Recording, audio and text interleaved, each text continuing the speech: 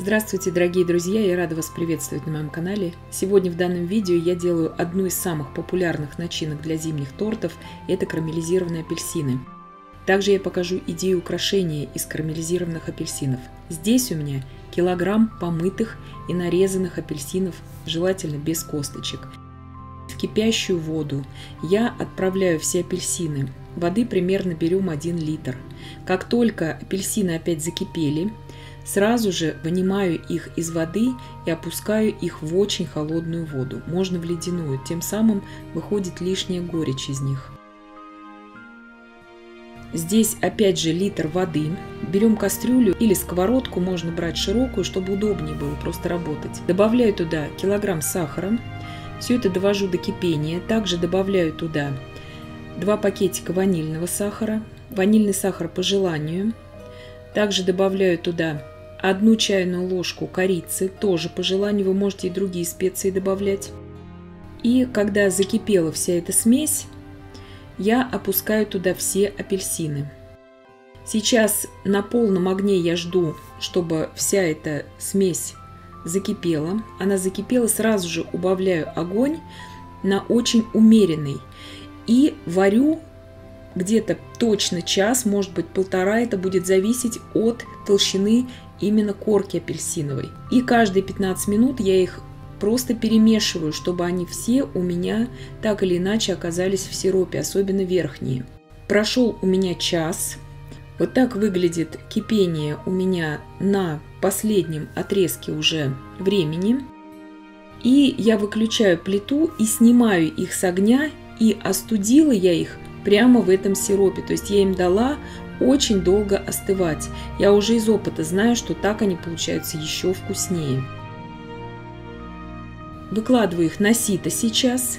И те, что самые красивые из них, это будет половина, я их буду сушить в духовке для декора, а вторую половину я буду использовать именно для начинки торта. В следующем видео будем уже делать торт с этой начинкой. Сироп я весь сливаю. Я сейчас покажу, что с ним можно сделать. Сейчас те, что я отобрала для запекания, я выкладываю на противень. На 15 минут сейчас отправляем в духовку. Температура 150 градусов буду сушить на конвекции на 15 минут. Те, что у меня остались для начинки, они у меня полностью стекли сейчас эти дольки. И сейчас я их просто пробью блендером для уже использования в начинке торта. Вот в таком виде в дольках можно их просто залить тестом и испечь с ними пирог. Тоже можно. Очень вкусно будет. До такой консистенции я их пробила блендером. Мелкие частицы цедра у меня видны. Прошло 15 минут в духовке. Я сняла апельсины с одной бумаги для выпечки переложила их на новую, перевернула на другую сторону, чтобы они не горели. Вот это сделать очень важно. И еще 15 минут они у меня провели в духовке. Вот сейчас они у меня высохли до той консистенции, которая мне нужна.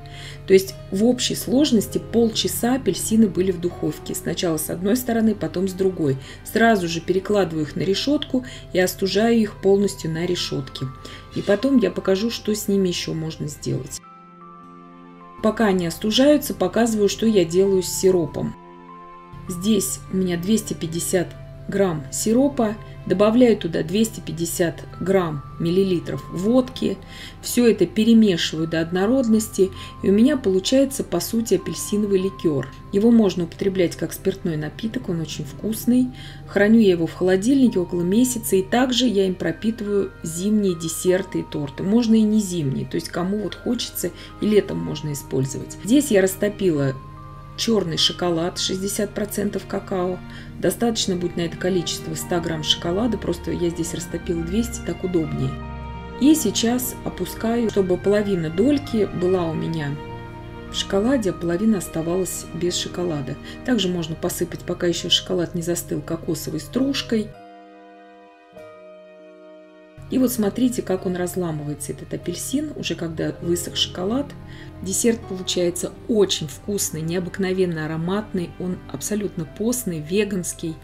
И я надеюсь, что видео было полезным и познавательным. Подписывайтесь на мой канал, ставьте лайки, пишите комментарии. Я всем желаю больших успехов и до встречи в новых видео.